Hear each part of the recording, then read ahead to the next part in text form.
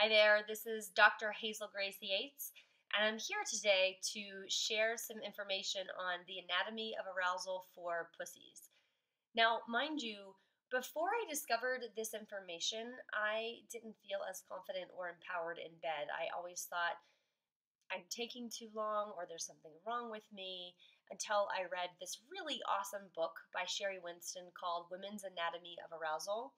Mind you, it's a gender binary book, and yet the information is still really useful. Okay, so I'm going to give you some information here that some doctors don't even know about. So, the arousal system for pussies is has as much erectile tissue as that of a, the genitalia of the cock. So, imagine that the engorgement that you can see externally on a penis or a cock is the same process is happening, but mostly internally.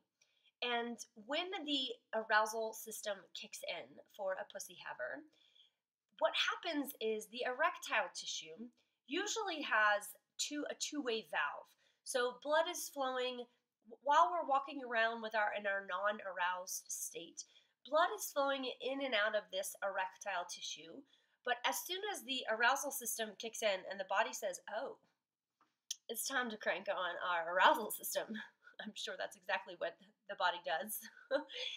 the erectile tissue goes from a two way valve to a one way valve, meaning the blood goes in, but it doesn't go out. So it, it captures this, this fluid and the tissues begin to swell. And what I think is fascinating is that there are actually four chambers in which this happens. So, for example, the first chamber is called the clitoral body, which is comprised of the clitoral head, the clitoral legs, and the clitoral shaft. So, that whole system begins to expand and uh, become engorged. Another chamber is the urethral sponge, which is also known as the, the G spot, and this also begins to expand. Then there's the perineal sponge, which, if you were to feel, um, if you were to insert the finger into the vagina and push um, down towards the anus, there's a sponge there called the perineal sponge, and this is another area. And the last chamber, well, not in the order per se, but the fourth chamber where engorgement happens is called the vestibular bulbs. These are two bulbs that are underneath the labia, underneath the lips. And the purpose of this is actually to expand, um, to become actually tighter and to be able to adapt and accommodate different sized things that are coming into the body. So, is it important that you know the names of these chambers?